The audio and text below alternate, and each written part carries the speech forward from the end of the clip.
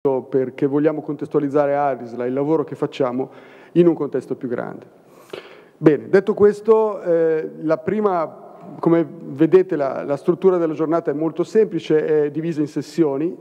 Ogni sessione ha un titolo, quindi progetti che eh, vengono elaborati e, e, e presentati all'interno delle sessioni sono progetti che hanno un filo denominatore comune. Poi ne parleremo durante la discussione.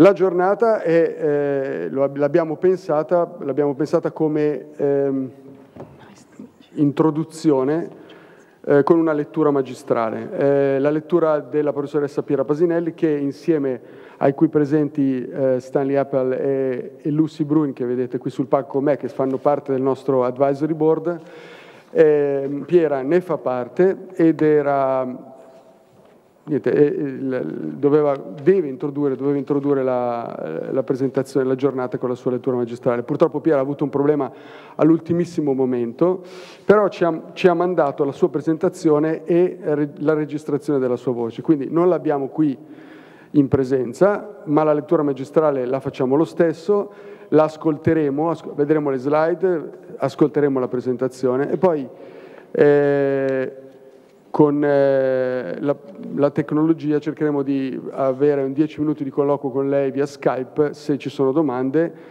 eh, per chiudere e poi con, ricontinueremo con i lavori. Ehm, detto questo, detto tutto, eh, insieme al, al, alla dottoressa Brugin c'è anche il professor Annunziato che ringrazio e che commodera questa sessione con me. Quindi direi Partiamo con eh, la lettura magistrale della professoressa Pasinelli.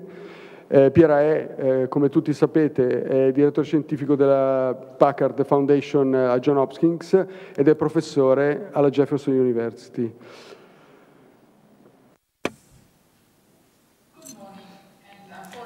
Buongiorno. Purtroppo sono a Filadelfia. Prima di iniziare vorrei scusarmi di non essere lì presente di persona a parlare del nostro lavoro sulla farmacoresistenza nella SLA.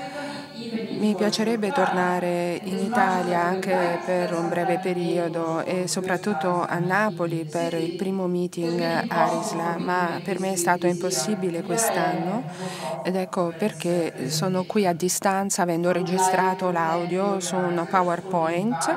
Ringrazio gli organizzatori per l'invito a partecipare e anche per aver organizzato questa video presentazione. Vorrei ringraziarvi tutti della pazienza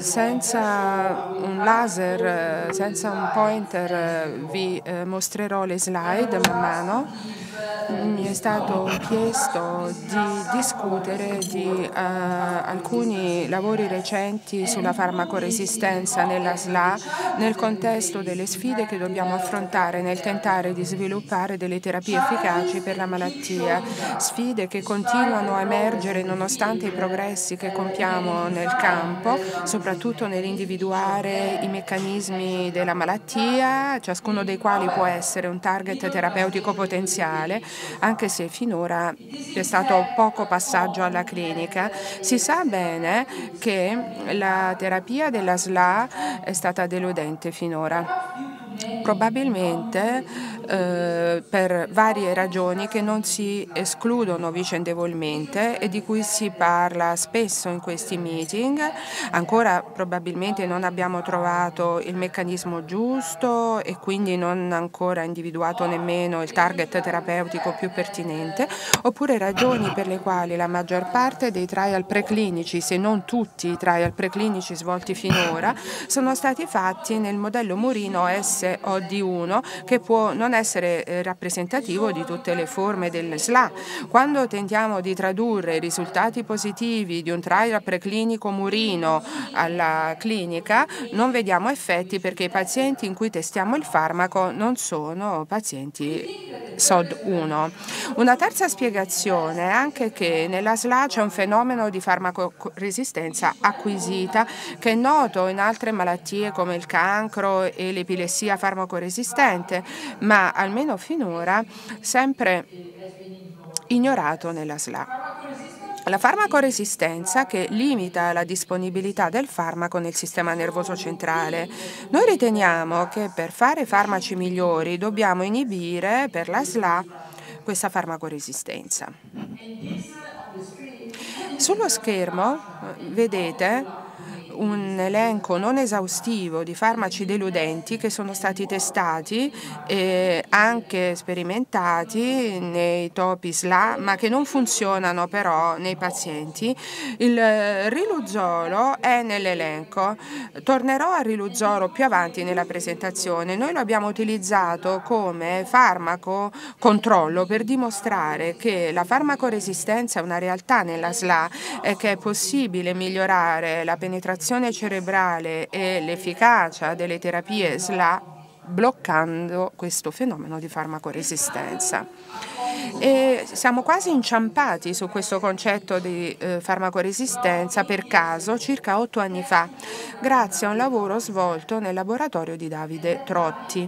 All'epoca L'NIH lanciò un'iniziativa per accelerare la scoperta di nuovi trattamenti potenziali per le malattie neurodegenerativi. L'idea era quella di mettere a punto degli essay che coprivano i meccanismi più comuni della neurodegenerazione, l'aggregazione proteica, la morte cellulare, una library di uh, uh, composti bioattivi approvati dall'FDA nel numero di 1040, cercando farmaci che potessero essere efficaci nel maggiori screening possibili, nel maggior numero di screening possibili, per poter fare poi dei trial clinici. E il mio laboratorio è stato coinvolto nel consorzio, abbiamo usato cellule N2A che esprimevano eh, il SOD1, le SOD1 il laboratorio di Davide ha utilizzato questo assay funzionale in cellule NSC34 per screenare i farmaci che aumentavano la funzione del trasportatore di glutammato EAT2-GLT1 che sappiamo si perde nella SLA. Un assay simile a quello eh, generato attraverso eh, lo stesso consorzio che ha portato alla produzione del CEF3 Action. Nel laboratorio di Davide sono stati individuati otto composti che potevano essere raggruppati tra gli antibatterici, antibiotici e antinfiammatori, come vedete forse nella slide. Composti efficaci nell'aumentare l'uptake di glutammato e tra questi otto composti avevano individuato l'NDGA ehm, in rosso che è eh, quello più specifico e più efficace. Decisero pertanto di testarlo in vivo in un trial preclinico utilizzando il topolino SOD1 G93A cercando di valutare il coinvolgimento dell'NGA in vivo in topi eh, controllo, quindi non malati.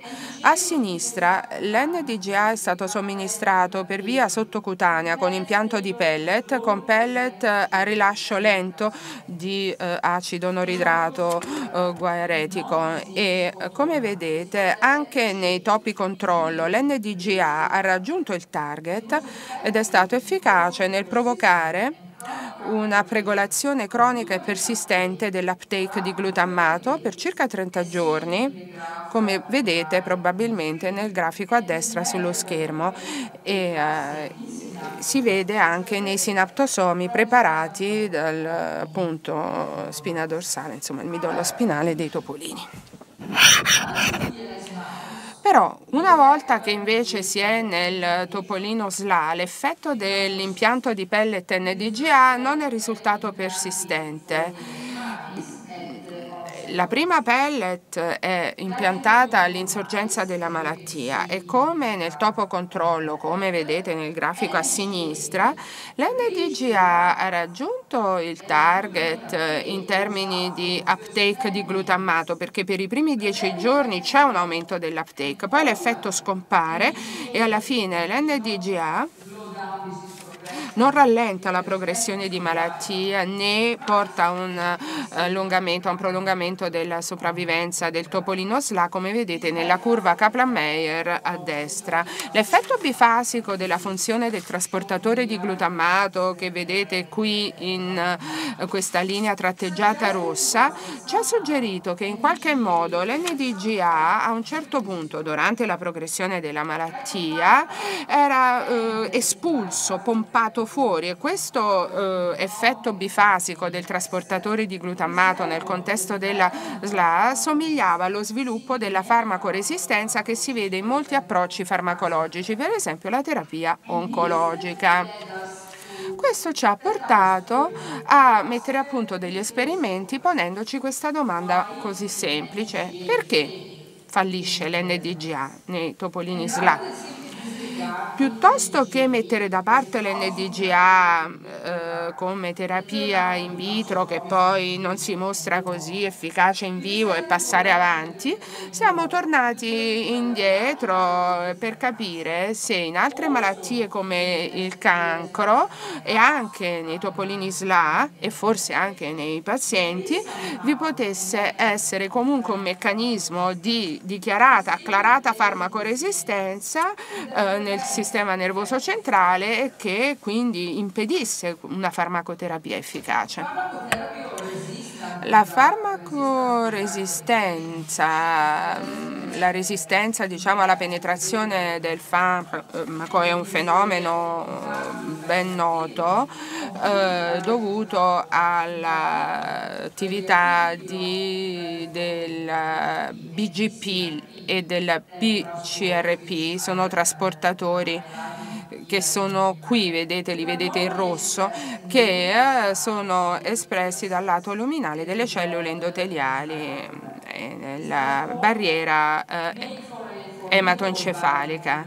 Questi trasportatori costituiscono una barriera formidabile alla penetrazione del farmaco e alla sua persistenza nel sistema nervoso centrale. La loro funzione, i loro livelli di espressione controllano l'esposizione di uh, farmaci, di xenobiotici, uh, quindi l'espulsione anche di questi farmaci e di questi xenobiotici nel sistema nervoso centrale.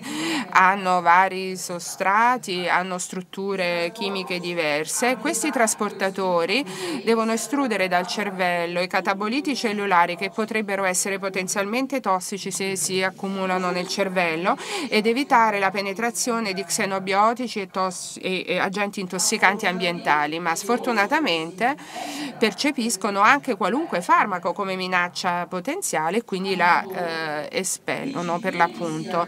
eh, PGP e BCRP e sottolineo che sono quelli più importanti per la SLA, hanno una specificità al sostrato molto ampia. La PGP è un omodimero, il PCRP è, metà, è una metà della PGP. Tornando alla nostra domanda sulla SLA e la farmacoresistenza, alla domanda perché l'NDGA ha questo pattern eh, bifasico solo nel topolino SLA, abbiamo messo a punto un esperimento per determinare se l'NDGA sia un sostrato potente di qualunque eh, trasportatore. Eh, non ho tempo di passare in rassegna i dettagli di questa diapositiva, voglio solo dimostrare che come noi ci aspettavamo sulla base dell'esperimento visto qui, a quanto pare emerge che l'NGA è un potente sostrato per la PGP, rafforzando il concetto che l'effetto bifasico dell'NDGA che abbiamo visto solo nei topolini SLA e non nei topolini controllo possa essere dovuto a una funzione mediata dalla PGP che espelle questo farmaco, quindi questo suggerirebbe che eh, la farmacoresistenza sia responsabile del fallimento dell'NDGA nel eh, far proseguire l'uptake di glutammato e quindi nel mancato miglioramento della sopravvivenza dei topolini SLA. Se è così, a questo punto dovremo aspettarci un aumento graduale, una sorta di accumulo della farmacoresistenza nel corso della malattia nei topolini SOD1, SOD1 e quindi e questo è vero, eh, accade così. Vedete, a livello dell'RNA messaggero, una batteria di questi geni trasportatori utilizzando la PCR, abbiamo visto come vedete nel riquadro A, che c'è una pregolazione selettiva dell'RNA messaggero, del PGP e PCRP, ma non di altri trasportatori che erano presenti nel R sperimentale durante la fase sintomatica della malattia. Questo è molto importante per il prosieguo e per la struttura dei trial preclinici e clinici. Questa pregolazione selettiva eh, del PGP e PCR che non eh, si vede nello stadio presintomatico, si vede però nello stadio asintomatico nei topolini SLA. Quindi una pregolazione selettiva, la vedete nel pannello nel riquadro B, è stata anche convalidata dalla QPCR e confermata eh, a livello dei livelli proteici, come vedete qui a destra nell'analisi Western blot eh, nella quantificazione di questa Western blot. E la pregolazione a livello delle proteine, a livello dei livelli protetici, risulta essere selettiva delle aree del sistema nervoso centrale colpite dalla malattia. Vedete la cortezza cerebrale, il midollo spinale, ma non il cervelletto. Lo vedete nei riquadri C, D e E, vedete ancora la quantificazione negli altri riquadri di questa Western blot. Questo è uno staining, è una colorazione che dimostra che c'è un aumento dell'espressione di PGP in questi topolini a livello dei capillari del minolo spinario, anche della spina lombare e eh, negli stadi presintomatici ma non sintomatici. E questi sono capillari e in cui c'è un aumento selettivo della PGP e PCRP, presumibilmente nelle cellule endoteliali, ma si vede anche qui. E come sapete, le cellule endoteliali sono la barriera primaria alla penetrazione di farmaci e xenobiotici, ma c'è anche un'altra barriera costituita dalle cellule parenchimali del sistema nervoso centrale. Quindi andiamo a vedere se questa pregolazione eh, selettiva specifica delle cellule cellule endoteliari dei capillari si trova anche nelle cellule parenchimali a livello degli oligodendrotrici, astrociti e forse anche neuroni motori. Come vedete qui non abbiamo trovato alcun aumento specifico o significativo del PGP e PCRP negli oligodendrociti, negli astrociti o nelle cellule microgliali, forse un po' nei neuroni motori anche se non in modo significativo. Questa aumentata espressione di PGP e BCRP a livello delle cellule endoteliali nei tessuti cerebrali non si osserva, almeno nel topo, in organi sistemici come il fegato, come vediamo qui, dove noi sappiamo che normalmente BCP e PCRP hanno un'alta espressione e regolano il metabolismo dei farmaci. Come vediamo in questa Western blot e nel grafico di quantificazione accanto, non abbiamo visto nel topolino SLA un aumento delle espressioni di PGP e PCRP nel fegato e quindi l'espressione di PCP e PCRP non cambia nella progressione di malattia negli organi sistemici.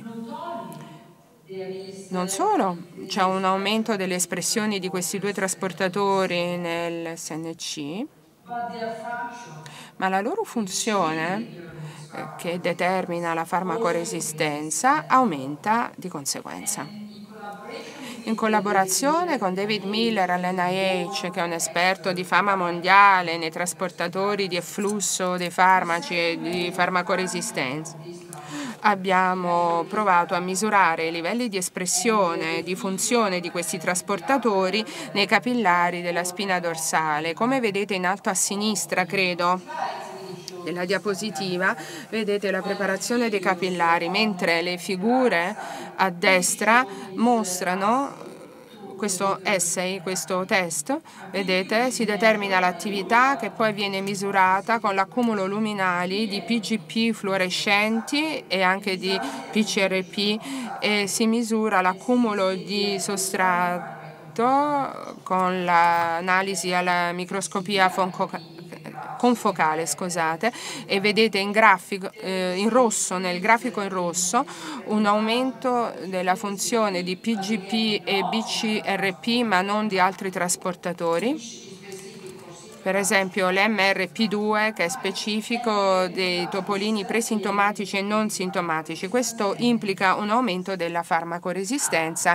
eh, nel corso della progressione di malattia. L'espressione e la funzione di questi due trasportatori aumenta nella progressione di malattia e mm, non è però un problema prima dell'insorgenza di malattia, almeno nel topolino. Questo solleva per noi, ed è ancora dubbia la questione, quindi solleva la questione che è importante per la biologia della malattia e anche per le implicazioni che questo fenomeno può avere eh, nel modo in cui poi mettiamo a punto i trial preclinici nei topi prima e poi anche per l'importanza che questo può avere nel design di trial clinici per i pazienti. Nei prossimi 30 minuti eh, dividerò la mia relazione in due parti. La prima parte Passeremo in rassegna alcuni dei meccanismi con i quali eh, questa malattia si sviluppa, i meccanismi di farmacoresistenza grazie al lavoro del laboratorio di Davide Trotti eh, e del mio e poi nella seconda parte vedere come possiamo applicare i nostri risultati al design di trial preclinici e clinici per la SLA. In altre parole, la farmacoresistenza è riconosciuta in altre malattie ma sottostimata nella SLA finora. Possiamo dimostrare che in realtà considerando e bloccando la farmacoresistenza possiamo andare a avere più chance di erogare farmaci al sistema nervoso centrale e mantenerne la concentrazione giusta nel tempo, farmaci che altrimenti sarebbero espulsi dal sistema. Questo è un lavoro fatto nel mio laboratorio in collaborazione con quello di Davide. Per rispondere ad alcune delle domande scritte qui, Partiamo dalla prima. Che cosa causa? Qual è il meccanismo che causa l'aumento dei trasportatori di efflusso dei farmaci a livello della barriera eh, eh, ematica e della spina dorsale? In, vedete, siccome gli astrociti sono in contatto stretto con le cellule endoteliali e, della barriera ematoencefalica e comunicano con loro rilasciando una serie di fattori. E siccome sappiamo che gli astrociti della SLA partecipano alla malattia rilasciando fattori tossici, il laboratorio di Davide ha eh, avviato una serie di modelli in vitro eh, utilizzando sistemi di cocoltura di astrociti e cellule endoteliali primari partendo con cellule di roditori per studi meccanicistici per capire come gli astrociti nel contesto della malattia e nel contesto della barriera ematoencefalica possono contribuire all'aumento dell'espressione di PCB e BCRP e quindi eh, indurre la farmacoresistenza. Qui vedete un modello di barriera, vedete vi sono due comparti, vedete, in basso abbiamo gli astrociti, invece c'è una, poi oltre la membrana porosa cellule endoteliari della spina dorsale. Gli astrociti sono trattati in modo da poter eh, trattare, eh, per esprimere questa mutazione, quindi sono le controparti del wild type.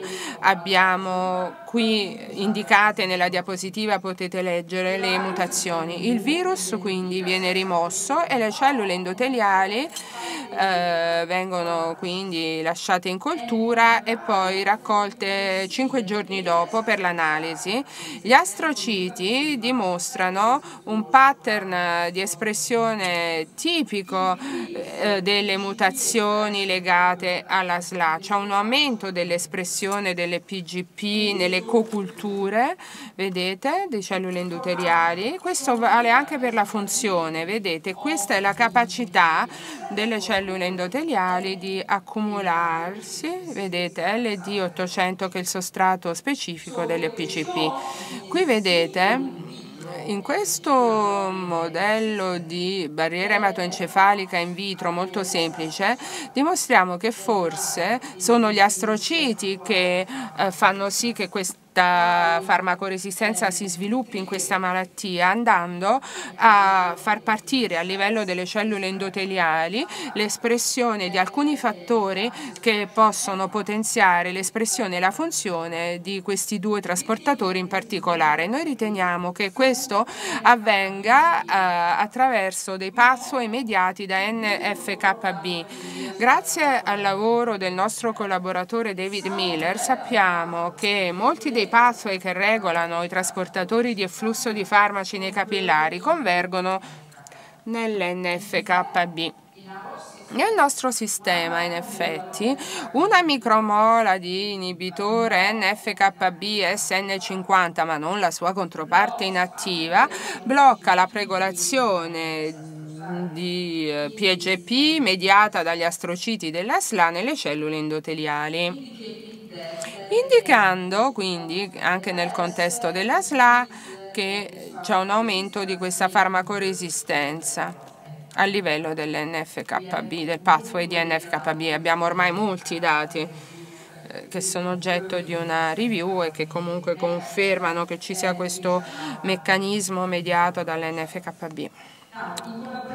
In collaborazione con il laboratorio di Davide e con uh, Nicolas Maragakis alla Johns Hopkins che uh, ci ha dato le cellule derivate da pazienti, abbiamo avviato questo stesso sistema di passaggio da un pozzetto all'altro, diciamo, nel, questo sistema in vitro, e, con sangue umano, vedete, con cellule umane, tessuti umani. Abbiamo cellule endoteliali umane in cocultura, vedete, con astrociti appunto derivati da pazienti SLA.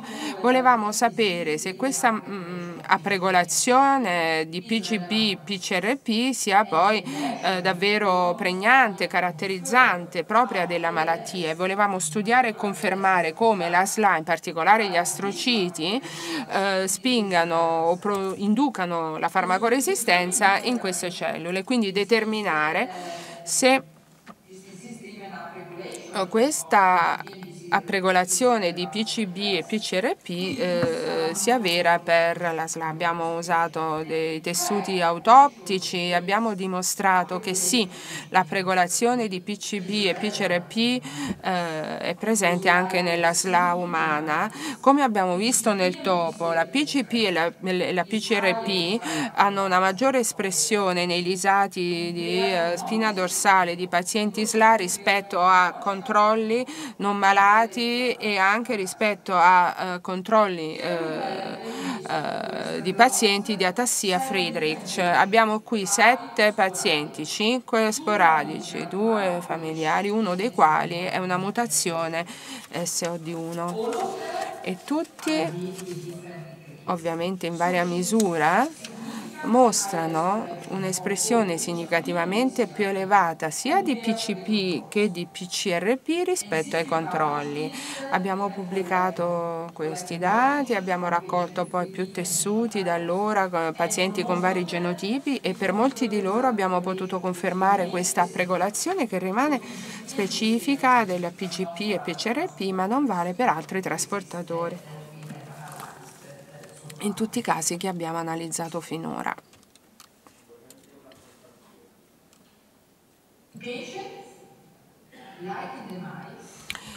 Nei, to- pardon, nei, pazienti come nei topi la pregolazione di PCB si vede a livello delle cellule endoteliari nei capillari della spina, del, pardon, sì, della spina dorsale.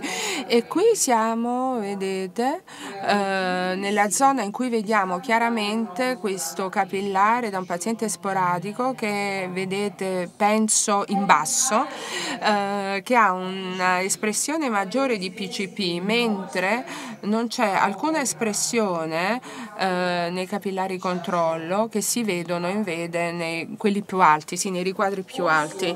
Purtroppo l'audio è un po' scadente in questa parte e eh, poiché eh, sembra essere eh, una farmacoresistenza specifica dei tessuti, in particolare con gli esperimenti che abbiamo fatto sulla base dei tessuti che erano disponibili, abbiamo visto che nell'SNC questa pregolazione è area specific. Che cosa intendo? Specifica di un'area. Mi spiego, nello stesso paziente che è individuato qui eh, con le frecce bianche, credo che le vediate bianche, non c'è, eh, vedete, espressione di PCB nei capillari dell'ippocampo che dovreste vedere in basso, mentre non c'è segnale, vedete, al di sopra del background non c'è segnale per niente, insomma.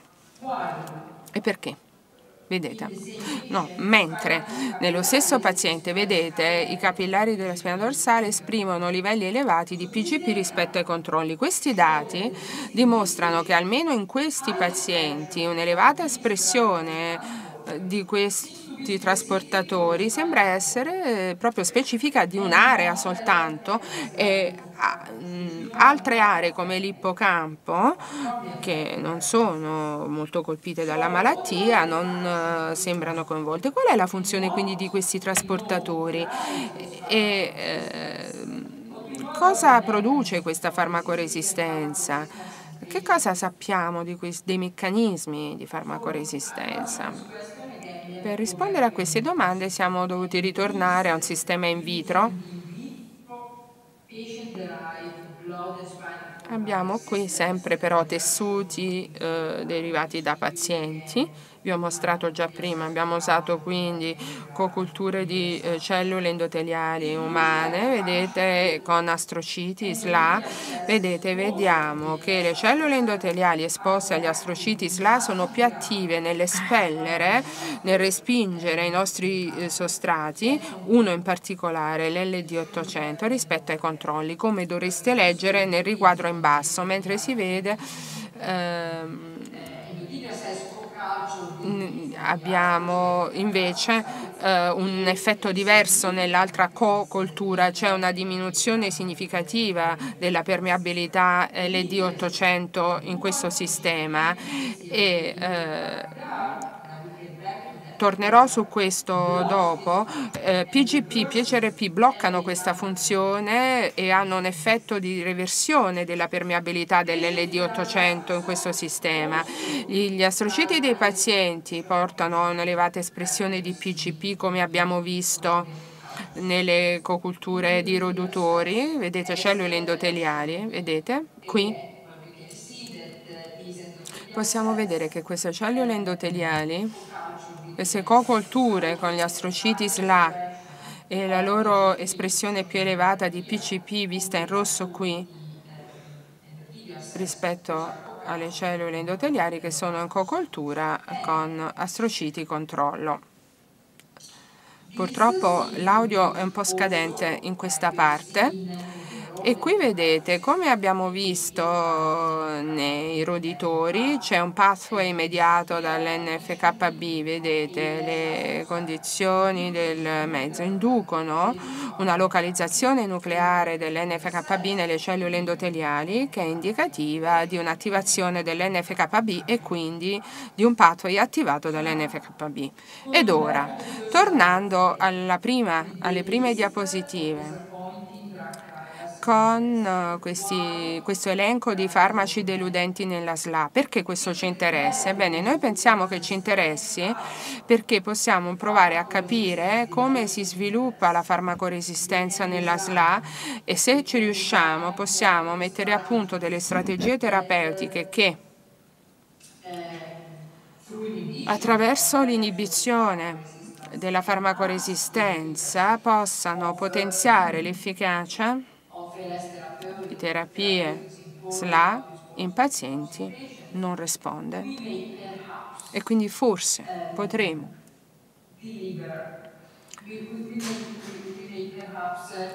migliorare la biodisponibilità e quindi anche l'efficacia di queste terapie per la SLA. E come proof of concept dell'idea iniziale che forse una delle ragioni dei fallimenti dei trial della SLA è che vi sia questa farmacoresistenza acquisita, finora sempre trascurata. E quindi non studiata, e che quindi potesse essere migliorata andando a considerare l'aumento delle PCP e PCRP, abbiamo studiato il riluzolo come elemento, diciamo, come composto controllo e abbiamo scelto il riluzolo per tre ragioni principali. Uno perché è l'unico farmaco approvato per la SLA dall'FDA, seconda perché il riluzolo è un sostrato di PCP e PCRP e, altrettanto importante la terza ragione, è stato dimostrato che il riluzolo, che in certa misura efficace nel primo anno di trattamento nei pazienti, andando a rallentare la progressione di malattia del 67%, perde poi la sua efficacia iniziale gradatamente man mano che la malattia va avanti, calando al 20% di rallentamento della progressione di malattia nel secondo anno di trattamento. Forse, ovviamente non lo sappiamo, ma questa è la nostra ipotesi di studio, perché una volta che si insedia la farmacoresistente, il riluzolo, come qualunque sostrato PGP-PCRP, viene espulso dal cervello, dalla spina dorsale. Abbiamo usato usato il riluzolo nel topo SOD1 per porci questa domanda. L'inibizione farmacologica di PGP, PCRP potrà potenziare l'effetto di riluzolo nel topo SLA? Abbiamo utilizzato l'elacridar, che è un inibitore di PCP e BCRP, come composto per testare questa ipotesi. Nel contesto del topolino SLA abbiamo deciso di avviare il trattamento all'insorgenza per due ragioni sostanzialmente. Una perché PGP e PCRP, sulla base dei dati che vi ho mostrato prima e anche molti dati di laboratorio, come sappiamo non intervengono prima che parta la malattia e la seconda ragione è per simulare nella misura del possibile nel topo il protocollo di trattamento che si userebbe in un paziente umano. Il riluzolo è stato somministrato quindi nel mangime, le lacridar invece in pellet a lento rilascio sottocutanee. I topolini sono stati suddivisi in quattro gruppi Oh, no, tre, tre, nella slide, in quattro nella realtà, quattro gruppi nella realtà. Il gruppo 1, nessun trattamento, ma con impianto di pellet, placebo, sempre sottocutanee eh, ovviamente eh, si interviene per impiantare i pellet ogni 10 giorni, poi l'altro gruppo è l'Acridar e il, il quarto gruppo eh, sia Riluzolo che Elacridar.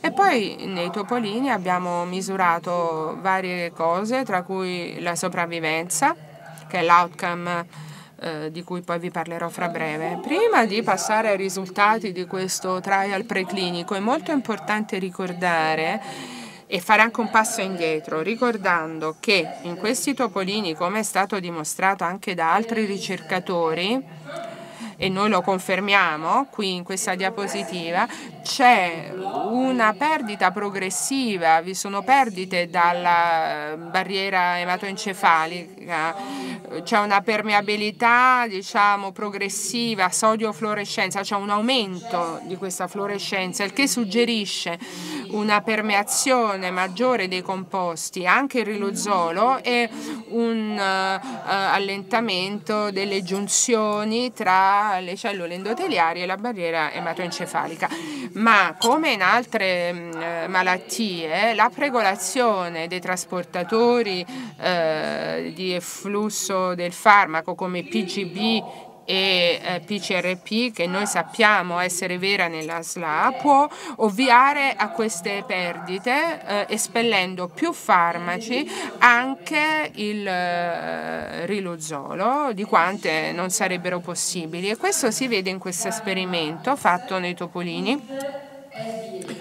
con l'LD 800 che come vi mostravo prima è un sostrato della PGP e che non si accumula ma anzi diminuisce nel decorso della malattia nei topolini sintomatici rispetto a quelli presintomatici confermando nuovamente che nonostante l'aumento delle deiscenze, della perdita della barriera, l'aumento di espressione della PGP eh, grazie alla malattia, poi la sovrasta, in qualche modo la annulla e quindi anche se pensiamo che il riluzolo o qualunque farmaco possa entrare facilmente nel cervello, alla fine questo non avviene per via di questa farmacoresistenza eh, acquisita che quindi pompa fuori, espelle questi farmaci potenziali e forse anche il rilosolo.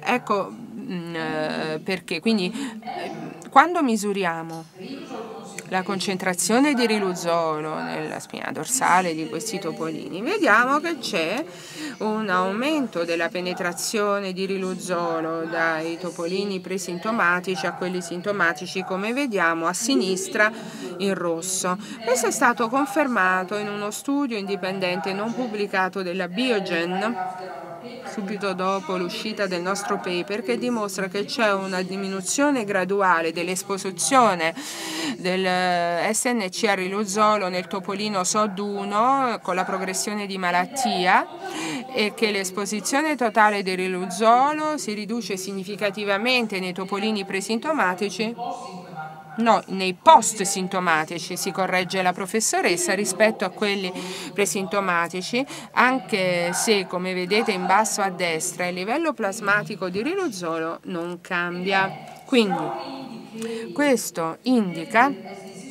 che con la progressione di malattia la farmacoresistenza fa sì che vengano rese impossibili delle concentrazioni terapeutiche di riluzolo e dimostra anche che se facciamo studi prima dell'insorgenza della malattia e in topolini non malati, ovviamente eh, non cogliamo questa resistenza, questa farmacoresistenza e quindi non finora abbiamo mai avuto l'opportunità di mettere a punto delle strategie che tenessero conto di questo fenomeno.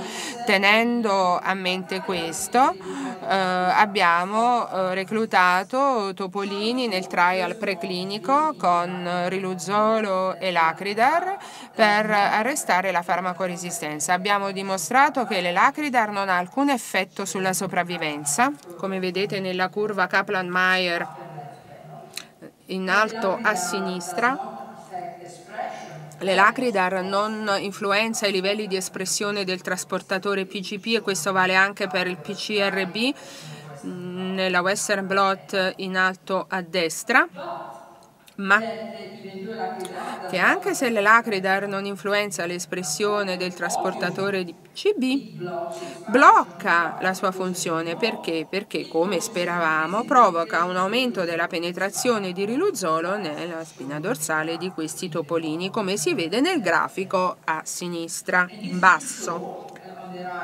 E a destra vediamo che un cotrattamento con riluzolo ed elacrita non è epatotossico, quindi non è tossico il cotrattamento, ma come ci si aspettava porta un uh, aumento della penetrazione uh, dei tessuti di riluzolo e rallenta significativamente la progressione di malattia del 13%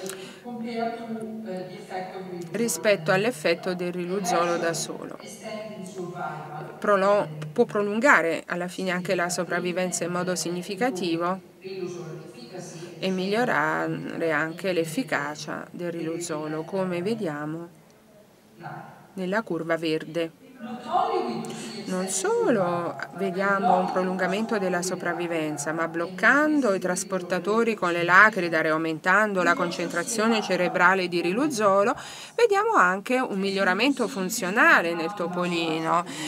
Vediamo che c'è un aumentato potenziale di azione eh, a livello muscolare, vedete la linea verde, vedete rispetto a... Ehm, topolini trattati solo con riluzolo. Vedete, vedete c'è una CMAP prolungata nel, corso, nel decorso della malattia. Inoltre il comportamento il co-trattamento con le lacridar migliora anche il comportamento nella malattia con una maggiore forza muscolare degli arti eh, posteriori e anche dei neuroni motori che vengono preservati almeno a 140 giorni, come vedete nel grafico a destra e anche nelle foto, nelle foto in basso.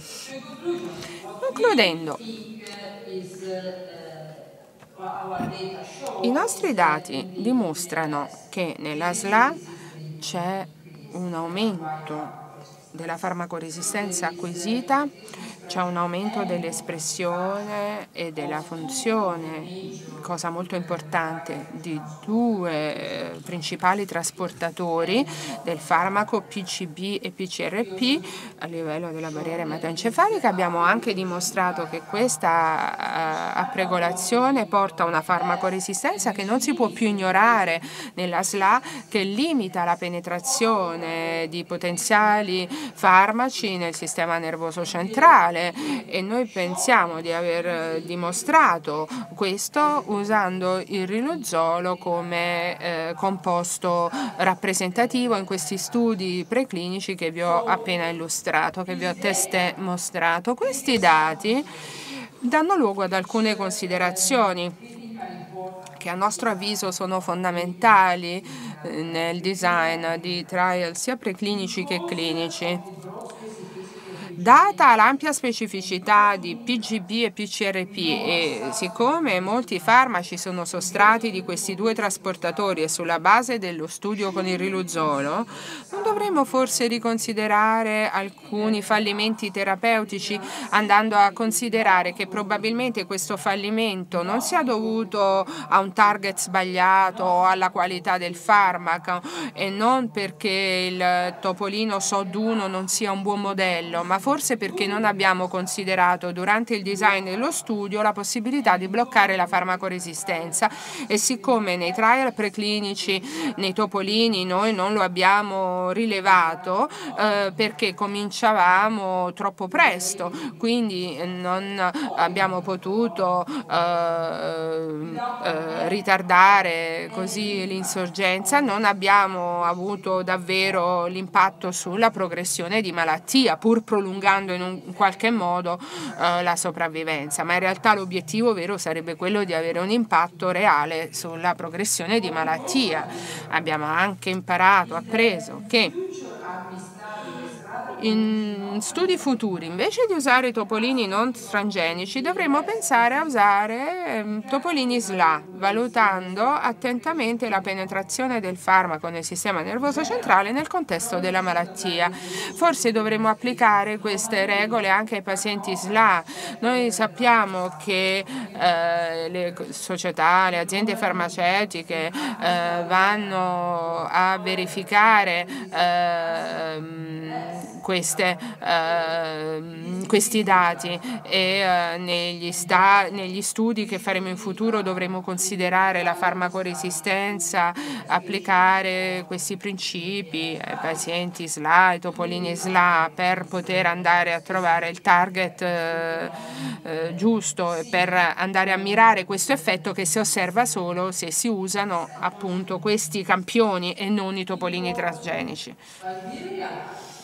E Riluzolo non è il blockbuster, ormai è chiaro.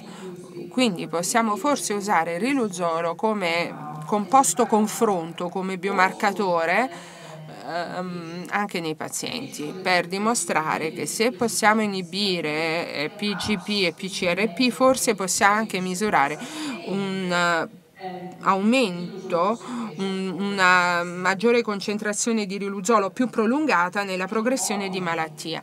E ovviamente questi studi di proof of concept fatti con il riluzolo aprono tutta una possibilità di andare a potenziare l'efficacia di nuovi farmaci che sono decisamente migliori rispetto al riluzolo mm, come è accaduto nel cancro. Noi sappiamo che la chemioterapia non è efficace, alcuni chemioterapici non sono efficaci se non sono uh, dati in combinazioni con degli inibitori dei trasportatori del flusso del farmaco, uh, anche in altre patologie, uh, in altri farmaci non sarebbero stati messi sul mercato se la loro efficacia non fosse stata potenziata da un'inibizione degli inibitori dei trasportatori del flusso del farmaco. Quindi vi ringrazio eh, dell'attenzione per aver accettato questa videopresentazione, ringrazio